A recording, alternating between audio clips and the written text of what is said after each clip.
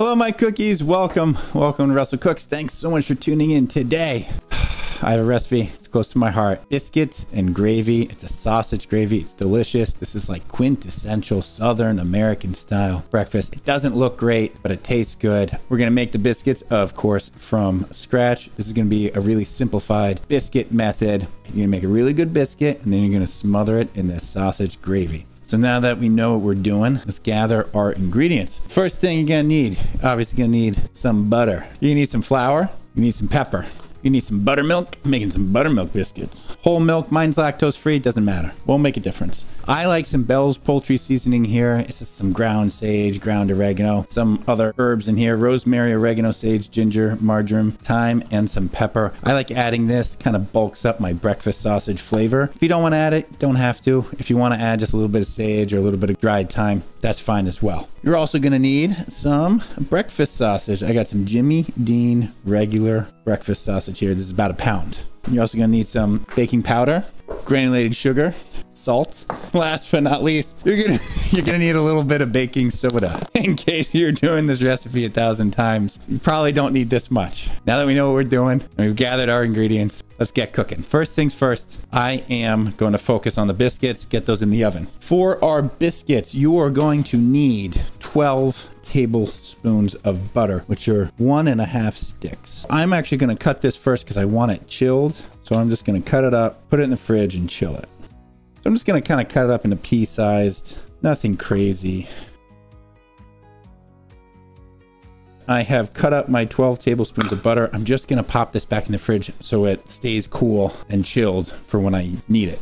I've also preheated my oven to 450 degrees. I'm going to use my toaster oven. You can use your big oven if you want, but you might have to adapt the recipe a little bit for your big oven. I'm essentially doing 450 degrees middle rack. After a few minutes, I am going to drop the rack down and the temperature, finish these biscuits that way. While the biscuits are going, we are going to make our sausage gravy. Hopefully things line up. Let's get our dry ingredients now for these biscuits. You're going to need three cups, about 15 ounces of flour here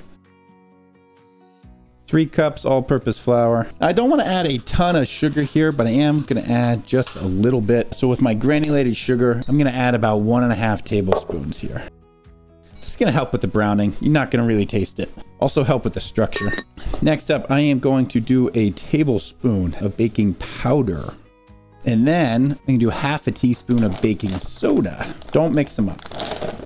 Now we got our dry ingredients in here. We're just going to pulse this. We just really want it to kind of come together, aerate it a little bit, mix it around so it's evenly distributed. So I'm just going to process it for about 10 seconds, maybe 15. All right. Now that I got that aerated, let's add that butter that I chilled, 12 tablespoons. I got my 12 tablespoons of butter in here. I'm just going to process it until it kind of turns sandy, kind of like a coarse cornmeal. All right, just a little bit more. Almost there. All right, I think we're there. All right, we're just to transfer this over into our bowl here. It's time for the buttermilk. I like one and a quarter cups here. I'm to mix this together now. Just to fold it. All right, I'm just to lightly flour this.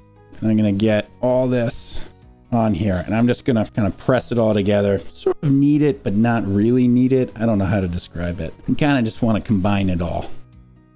Make sure it's nicely even throughout. It's coming together. It's only going to take maybe eight nine ten kneads to really come together what I like to do is I tend to kind of press it out and this helps get flaky layers. You don't want to over knead this, obviously. I kind of like, as I'm doing it, to kind of fold it amongst itself.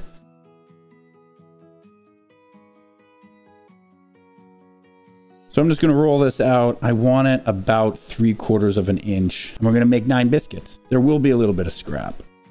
And it's starting to stick. So I'm just going to get a little more flour on here. Oh, this is soothing.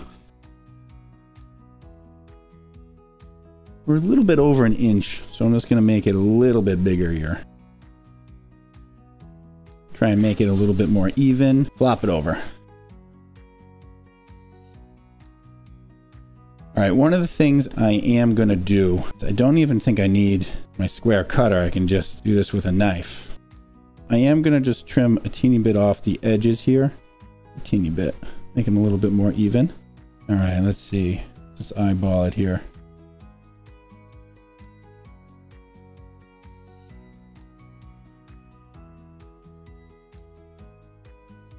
All right, this other square one turned into a round one. We're putting our biscuits in the toaster oven, 450 degrees, middle rack. After about five minutes, I'm gonna lower the rack and drop the temperature. Next up, let's head over to our stove here. We are taking our bulk breakfast sausage here, and I'm just putting it in my cold pan. It doesn't have to be hot, doesn't matter. Now, if yours comes in like one and a quarter pound package, that's fine too. Just gonna get that on medium heat. Just gonna cook it, render it down. Again, this is one pound. While that is heating up, I'm gonna get a little tray here and I'm gonna do about three tablespoons all purpose flour.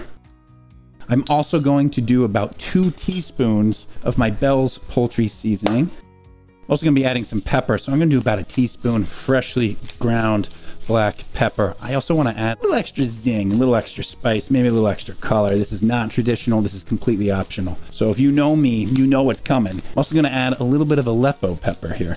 I'm add maybe three quarters of a teaspoon. Now this is some good pork sausage. You can tell I got some fat rendering out. I got to drop my biscuits down to the lower level and I'm to drop the temp down to 400. We're to do about 10 to 15 more minutes on these biscuits. If the top isn't getting as brown as I want, I'm to raise it back up to the middle. It's just a little more difficult in a toaster oven. If I was doing this in my big oven, I'd just do middle rack the entire time. We got our flour mixture here. I know this seems like a hefty amount of flour it is, three tablespoons plus these other thingies, but we need to put it in. We're gonna put our flour, spice mixture, sprinkle it over top. We're gonna let that cook for about a minute. You want the flour to cook and you want those spices and seasonings to kind of like bloom. It's soaked up all that grease, all that delicious fat.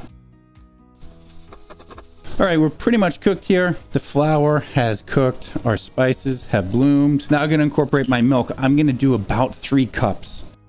Maybe I'll do two and a half. Can always add a little bit more. All right, two and a half cups.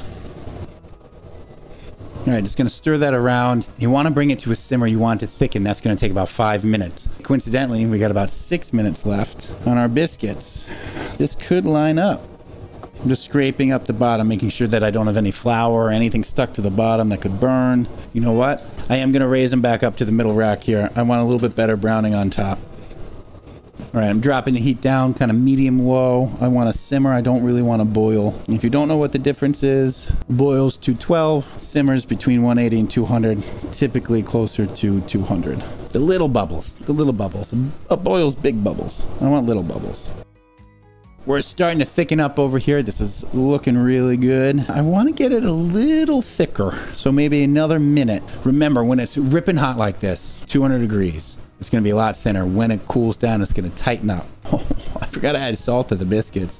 Oops. That's what happens when I monologue while cooking. I think we're good. Just going to take that off the heat. I'm going to give it a taste, taste it for saltiness. I haven't added any. Pork sausage tends to be pretty salty to begin with. That's good consistency. Look at this. Oh, oh yeah. Symphony of flavors, my friends. Biscuits looking pretty good. Getting some good browning. I'm just going to rotate it, put it back in. Two minutes. Should we do an egg? Let's do an egg. Yeah, I think the uh, gravy was salty enough. I don't think we need anything else. Let's get these biscuits out. They are looking fantastic. Look at this browning. Hot son of a biscuit. Oh, look at that steamy, delicious biscuit. Look at that.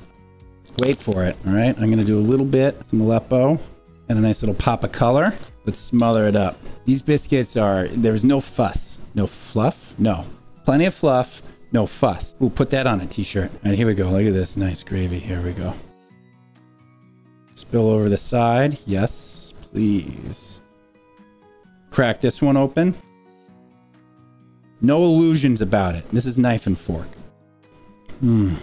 This is so good. The harmony between those two things, it's indescribable. Like I tried the sausage gravy to make sure it had enough salt. It was good and like potent. And the biscuit just provides a nice little buttery pillow. It's like that fluffy pillow carrying the crown or the ring to you. You're just elegance. Look at that egg. This is a good breakfast. Can you make this more elegant? Yeah. Could I shave some black truffle in there? Absolutely. Do you need to? No. All I need now is a pile of bacon. That was quick and easy biscuits with sausage gravy. If you like what you saw, don't forget to check me out on YouTube, Twitch. I'm also on TikTok, Twitter, and Instagram. Thanks so much for tuning in, and I hope to see you next time. Take care.